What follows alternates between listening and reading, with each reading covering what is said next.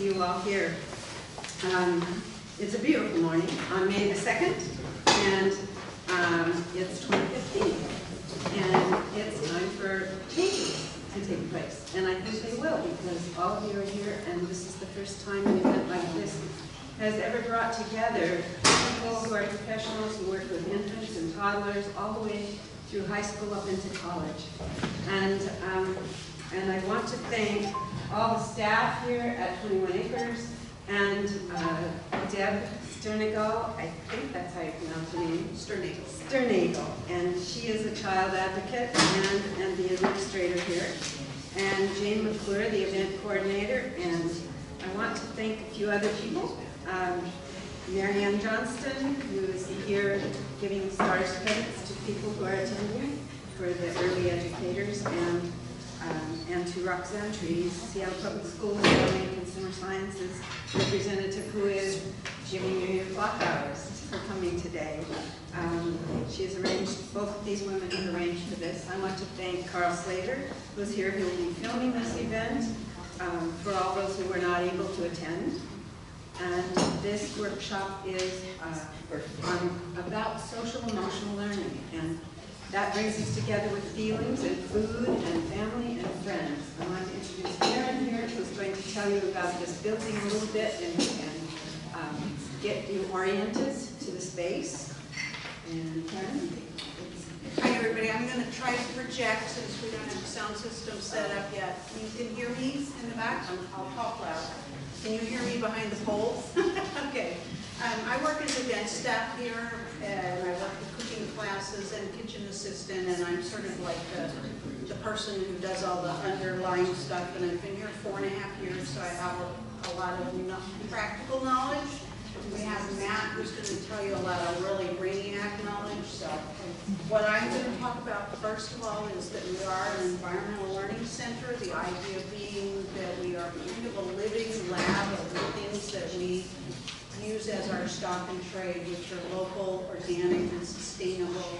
We use it in all our cleaners, we use it in all our environmental things. The only time you'll see something that doesn't fit in that is if by law we have to have certain things that there's no source for out of the local organic sustainable community yet. And there may be someday, but there may not be yet. So you might see plastic used for something that we have no alternatives for, but we have to have it. So um, the main thing that Gail asked me to talk about was our compostable toilets, because they're a little unusual, and we, you know, it's a kind of an odd subject to introduce, but um, our bathrooms are upstairs. You go through the elevator, when you out, go to the right, across the lobby, and the first door on the left is the men's room, then you go around the corner and down the hall a little bit, and then on the left, you'll see the ladies' room.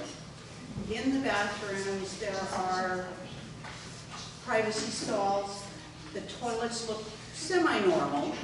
Um, on the back is a stainless steel box, and there's a button that says push.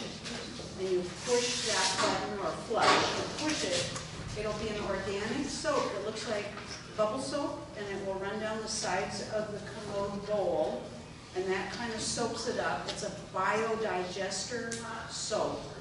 Then you do your business, and then you push the button again, and then more soap goes down.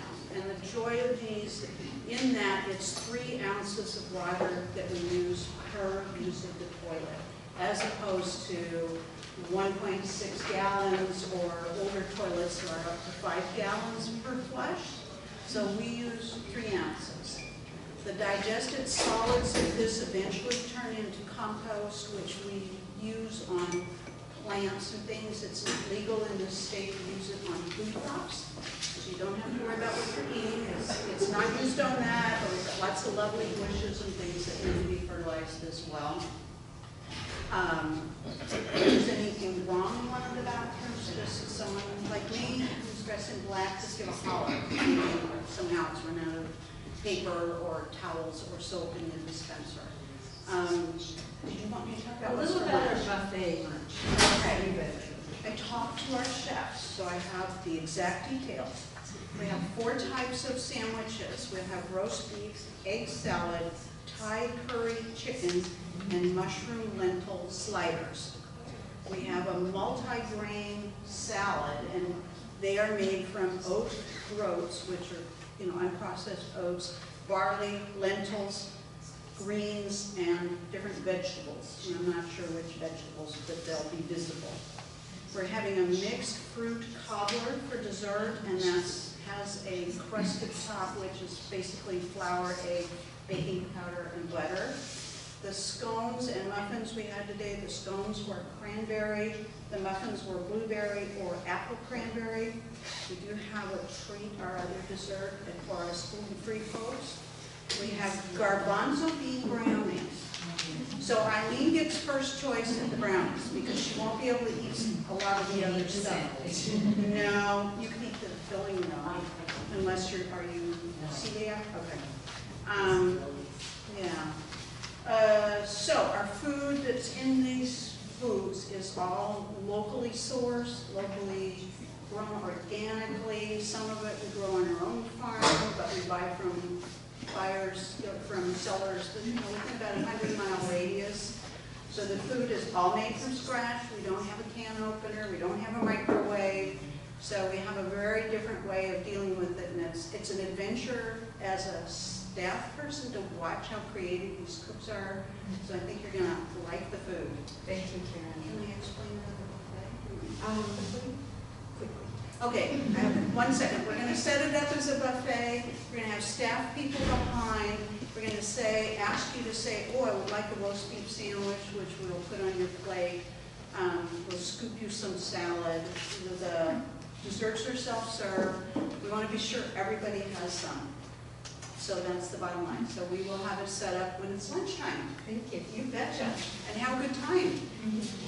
Well, I'd like to be able to just add that, but I'm going to read my notes because they're helpful and I'm going to be quick about it. Um, I want to thank you all for being here. We have a large group of family and consumer sciences teachers who I'm sure will enjoy the food that's here and the second speaker who's going to be talking on nutrition and there's a lot to learn on that. Um, we come together today to learn about the research of Dr. Christopher Sink of Seattle Public, uh, Seattle Pacific University, and welcome our guest speaker and co-developer of the Happiness Project, David Hartman. And afterward, we're going to have a walking tour of the environment led by our second speaker, Matt Keane, on the subject of nutrition and its effect on the mind. We come together today as mothers and fathers and grandparents and students, educators and scientists to combine our energies and be inspired. I believe we share a passionate love and care for the children and this earth. And the children come to us eager to learn how to live in a state of happiness. We recognize it's a formidable goal to help the delicate work of human formation, and we meet up with the psychological mysteries of the developing mind and spirit.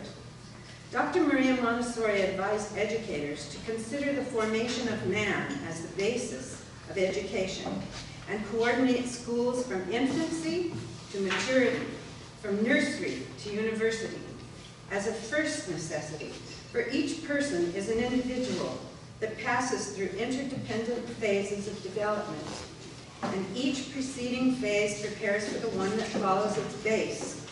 It nurtures energies that urge us toward the succeeding period of life. And we today represent all those phases of life unfolding. And this is an opportunity for us to connect as professionals. And today we'll begin by welcoming David Hartman, who's going to give his presentation on how the research on the Happiness Project is touching lives in our state and all around the globe. This is a time where we look for a focus. It seems in our, in our culture today, we're just focusing on all the discontentment. But today we're going to focus on happiness. And David will tell us how to begin. Thank you,